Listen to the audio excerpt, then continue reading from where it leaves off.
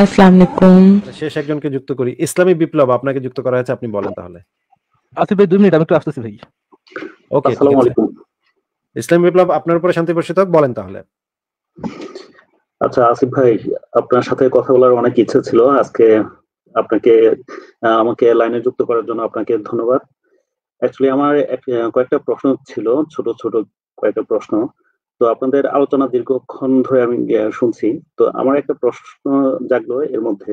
সেটা হচ্ছে আপনার রোমান সভ্যতা বা তারও আগে যে মেসোপটিয়াম সভ্যতা বা ব্যাবিলনীয় হ্যাঁ ব্যাবিলনীয় সভ্যতা। সভ্যতা। হ্যাঁ হ্যাঁ। তারপরে হচ্ছে আপনার এই যে অ্যাসেরীয় সভ্যতা ক্যালেডীয় সভ্যতা এই সমস্ত সভ্যতার সময় প্রযুক্তি কি বেশি উন্নত ছিল না বর্তমান প্রযুক্তি বিজ্ঞান জ্ঞান বিজ্ঞান বেশি উন্নত? আপনি কি মনে করেন? অবশ্যই বর্তমান সময়ের জ্ঞান বিজ্ঞান বেশি উন্নত। বর্তমান সময়ের জ্ঞান বিজ্ঞান বেশি উন্নত। আচ্ছা তাহলে আমি একটা জিনিস বুঝি না সেটা হচ্ছে আহ, এই যে পিরামিড পিরামিডের যে আপনার তৈরি করা ভাই, হলো। কিন্তু ভাই এখন আর পিরামিড বানানোর মানে তো কোনো অর্থ নাই। এখন কি পিরামিড বানানোর কোনো অর্থ আছে? না না তখনকার সময়ে যে পিরামিড তৈরি হলো এখন ধরেন এখন যদি কারোর ইচ্ছা হয় এখন যদি কারোর ইচ্ছা হয় এক নম্বর কথা এত তো টাকাও মানুষ এরকম হুদাকামে কেন খরচ করতে যাবে? তাই না? এখন তো তারা চাইলেই আপনার কি আপনার কি সিরিয়াসলি মনে হয় যে এখন এখনও মানুষের পিরামিড বানানোর মতো সামর্থ্য বিজ্ঞানীদের নাই? এটা আপনার সিরিয়াসলি মনে হয়? না সামর্থ্য নাই সেটা আমার প্রশ্ন না। আমার প্রশ্নটা হচ্ছে যে ওই সময়ে তাহলে ওই হ্যাঁ, তাহলে এখন কি এখন কি এখন কি বিজ্ঞানীরা চাইলে দুই দশটা পিরামিড বানাইতে পারে না? আপনার কি এটা মনে হয় যে এখন এখনকার বিজ্ঞানীদের এই সামর্থ্যটা নাই যে চাইলে তারা দুই দশটা পিরামিড বানাইতে পারবে না? কিন্তু ভাইয়া আমি তো যতটুকু জানি যে এখন ধরেন আমাদের এই যে সাপোজ আপনার যে পিরামিড তৈরি করতে যে পাথরগুলা এত উপরে মানে উঠানো হয়েছে ক্যারম দিয়ে মানে তখন ক্যারম দিয়ে উঠেছে কিনা সেটা জানি না বাট এখন কোনো কিছু ভারী কোনো কিছু উপরে উঠাইতে হলে ক্যারম দিয়ে উঠাইতে হয়। তো সেটার একটা পরিমাপ আছে যে এত টন পর্যন্ত মানে তোলা যাবে। আপনি কি আর্কিমিডিসের নাম শুনেছেন? না ভাইয়া। আর্কিমিডিসের আর্কিমিডিসের নাম শুনেন নাই আপনি? না না। তাইলে আপনার বলে লাভ কি ভাই? আর্কিমিডিসের একটা বিখ্যাত আবিষ্কার আছে সেই আবিষ্কারটা কি সেটা তো বলতে পারবেন না তাই না? না। আপনি বলেন আমি শুনি। হাইড্রোলিক প্রেসার কাকে বলে বলতে পারেন? হাইড্রোলিক প্রেসার এটা সম্ভবত ইলেকট্রনিক মেশিন যেটা আপনার হাইড্রোলিক ভাই আপনি সিরিয়াসলি ভাই আপনি কি মানে স্কুলে পড়ালেখা করেছেন? কখনো স্কুলে গেছেন? না স্কুলে পড়ালেখা তো অবশ্যই করছি। আচ্ছা বাসবিহারী ভাই আর্কিমিডিসের সবচেয়ে বিখ্যাত আবিষ্কারগুলোর ভিতরে আহ, কি কি আছে বলেন তো বাসবিহারী ভাই? হ্যাঁ উনি তো ওই উদস্থিতিবিদ্যা বা তরলের চাপ প্রয়োগ করে কোনো একটা বিশাল বস্তুকে ওপরে তোলার যে পদ্ধতিটা মানে তরলের চাপকে সঞ্চালন করতে উনি থিওরি দিয়েছিলেন। W one by W two equal to Piu P two by P one মানে তারপরে তিনি উনি লিভারের প্রিন্সিপাল অর্থাৎ যে আমরা লিভার ব্যবহার করি দণ্ড আর কি বিভিন্ন ধরুন বেলচা চামচ এগুলো যে পদ্ধতিগুলো এটাও উনি দিয়েছিলেন। তো আর্কিমিডিসের ওই হ্যাঁ হ্যাঁ বলেন, বলেন, আর্কিমিডিস শেষ করুন। ওই উদস্থিতিবিদ্যা অর্থাৎ তরলের চাপকে এক জায়গা থেকে আরেক জায়গায় নিয়ে গিয়ে আমরা বিশাল ভারী ভারী বস্তুকে ওপরে তোলার মানে পদ্ধতিটা উনি দিয়ে গিয়েছিলেন। তার ফলে দেখবেন, ওই যে বিভিন্ন পেট্রোল পাম্পে যে গাড়িগুলোকে ওপর দিকে তুলে তলায় সেই জলের ফোয়ারা মেরে আমরা যে গাড়িগুলো হয়ে, ওইটা হচ্ছে ওই হাইড্রোলিক প্রেসারের উদাহরণ। হ্যাঁ এই, এইভাবে ওনার পদ্ধতি কাজে লাগানো হয়েছে। একে আর্কিমিডিস প্রিন্সিপাল বলা হয় আর। আচ্ছা আচ্ছা, বিহারী ভাই আপনি যে উদাহরণটা দিলেন এটা কি মানে ওই সভ্যতার আগের এক সেকেন্ড ভাই এক সেকেন্ড। আপনি তো হ্যাঁ, আর কি মানে এই জিনিসটা কখনো শুনেন নাই? এই যে লিভার কাকে বলে এই জিনিসটা তো কখনো শুনেন নাই তাই না? লিভার।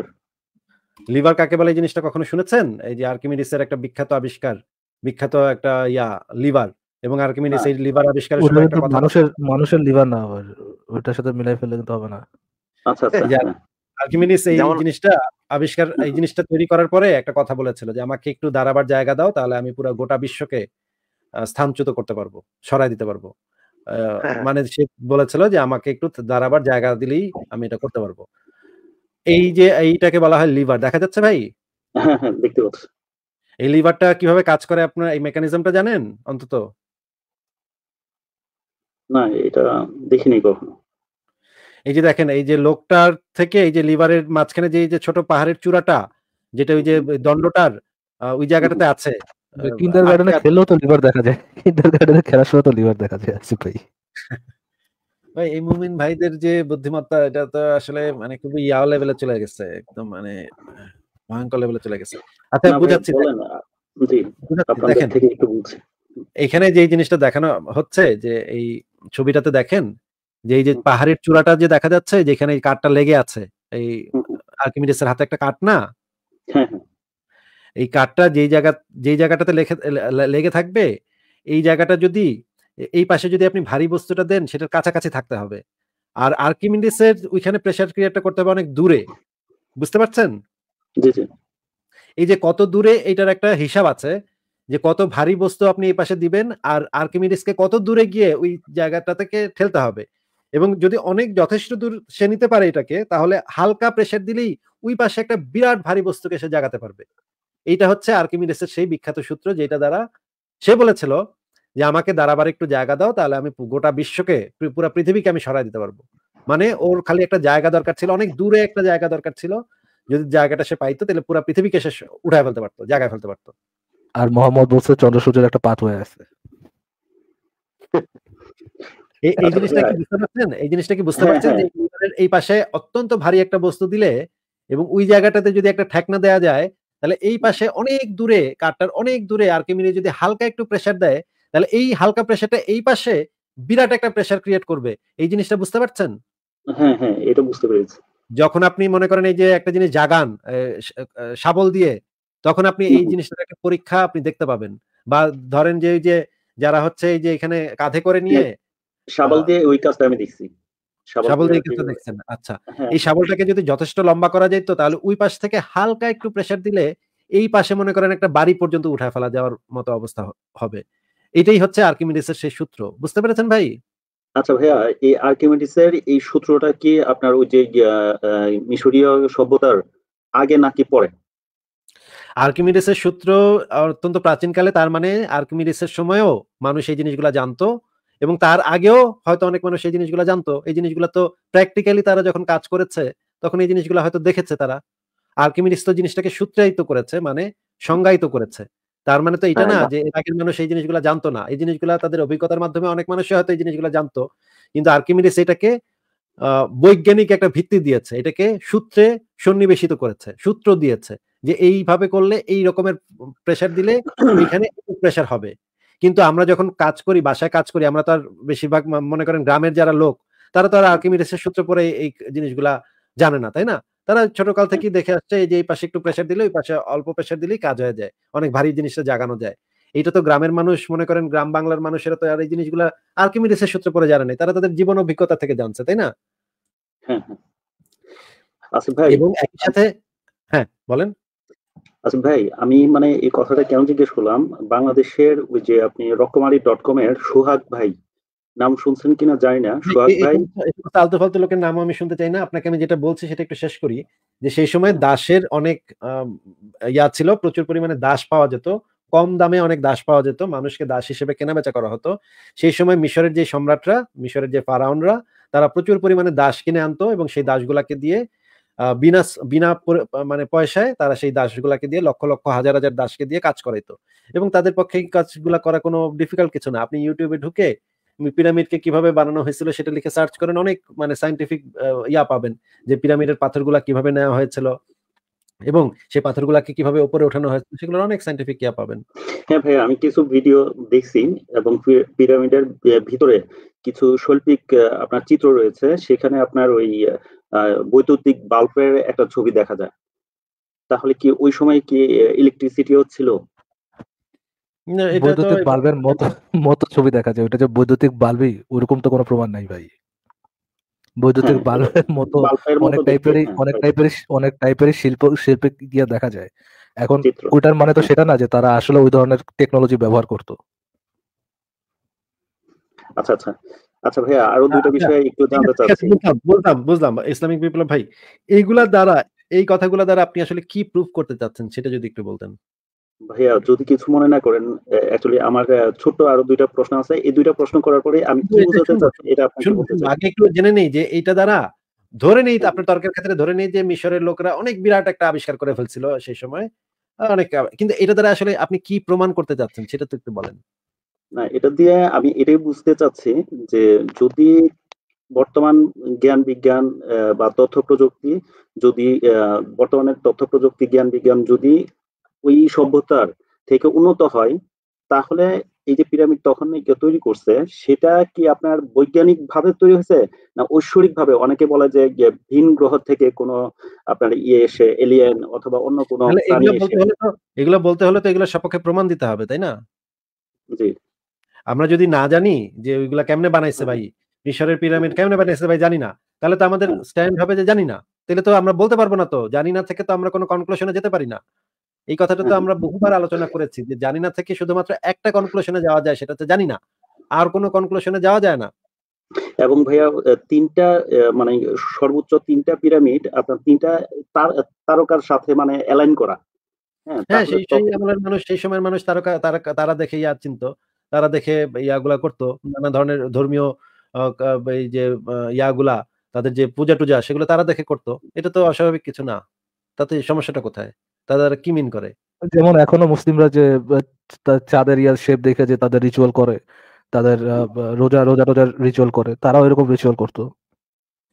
অদ্ভুত ভাই সেটা হচ্ছে কি প্রমাণ হয়?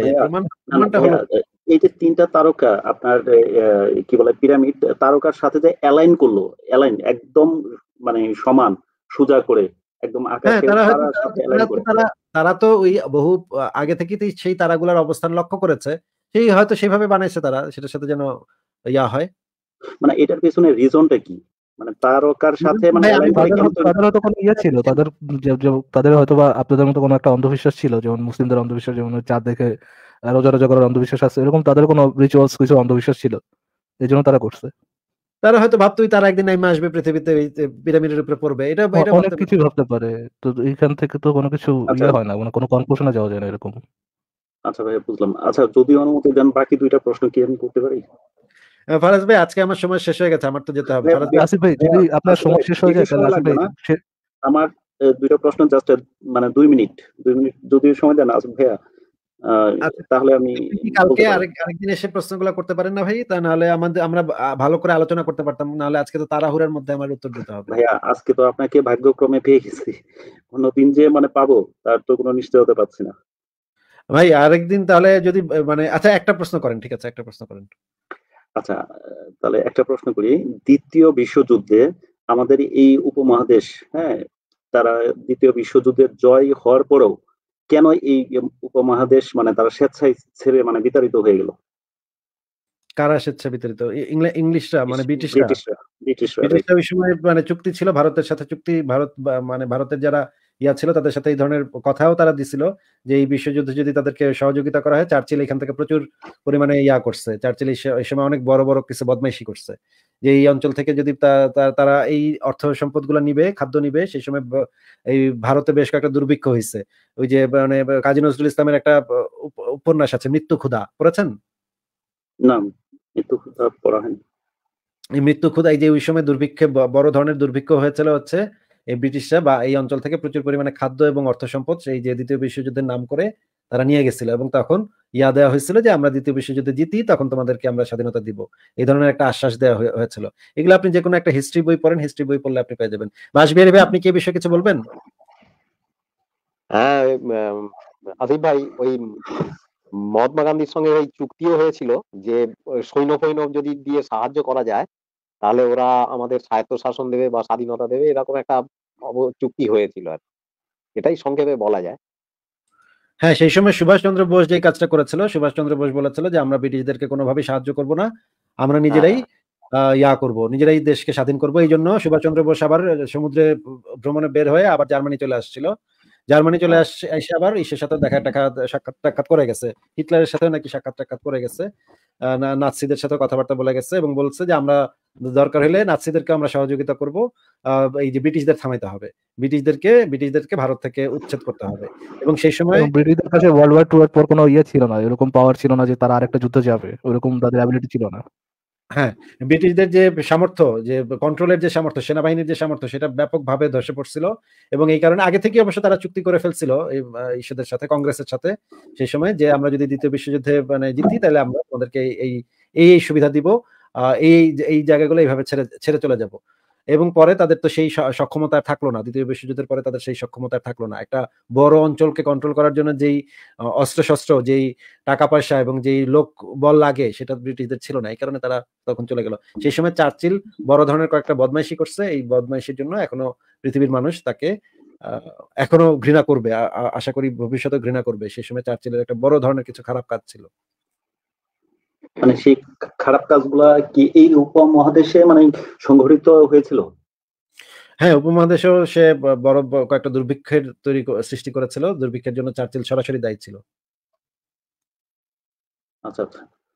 তাহলে ভাইয়া এই যে, যে চুক্তিনামার কথা বললেন, এই চুক্তিনামার বিষয়ে বিস্তারিত জানতে হলে মানে কোন বইটা পড়লে মানে ইয়ে বিস্তারিত ভালোভাবে জানা যাবে? এখন তো ভাই আমি এইভাবে নাম বলতে পারছি না। ভাই আপনি কি কোন বইয়ের নাম সাজেস্ট করতে পারেন? হ্যাঁ, ওই আ 'ইন্ডিয়া উইন্স ফ্রিডম' আর 'ফ্রিডম অ্যাট মিডনাইট' এই দুটো বই পড়লে ভারতের স্বাধীনতা আন্দোলন এবং বুঝা যায় না। ভাই বুঝা বুঝা যায় না। আরেকবার একটু বলেন। 'ইন্ডিয়া উইন্স ফ্রিডম' আর 'ফ্রিডম ইন্ডিয়া মিডনাইট' ফ্রিডম হ্যাঁ। আর 'ফ্রিডম আরেকটা কি? Midnight' freedom at 'freedom at midnight. Midnight' ওটা মিডনাইট আব্দুল আচ্ছা, কালাম আজাদের লেখা। আর আচ্ছা, একটা আচ্ছা। জওহরলাল নেহরুর লেখা। আচ্ছা, আচ্ছা। এই দুটো বই ঠিক পড়লে আছে। মোটামুটি পেয়ে যাবেন। ঠিক আছে তাহলে ইসলামী বিপ্লব ভাই আজকে তাহলে আপনাকে বিদায় জানাই। আরেকদিন কথা বলব। ঠিক আছে? জি, অসংখ্য ধন্যবাদ আপনাদের সবাইকে। আচ্ছা ভালো থাকেন। তাহলে বাসবিহারী ভাই, ফারাজ ভাই আমরা তাহলে লাইভটা শেষ করে দেই নাকি? হ্যাঁ, হ্যাঁ, ঠিক। জি, জি আসিফ ভাই লাইভটা মোটামুটি ভালো হলো। আজকে তাহলে এখানেই শেষ করে দেই আমরা। অ্যান্ড ৩.৫ ঘণ্টা হয়েছে এটা গুড এনাফ। সবাইকে অনেক ধন্যবাদ আমাদের লাইভে যুক্ত থাকার জন্য এবং আলোচনা শোনার জন্য। ভালো থাকবেন আপনারা। আজকের মতো শেষ করে দিচ্ছি। ফারাজ ভাই, বাসবিহারী ভাই আপনারা বিদায় নিয়ে নেন তাহলে। গুড নাইট ভাই সবাইকে গুড। নাইট। সবাইকে গুড নাইট। শুভরাত্রি। আজকে শেষ করে দিচ্ছি।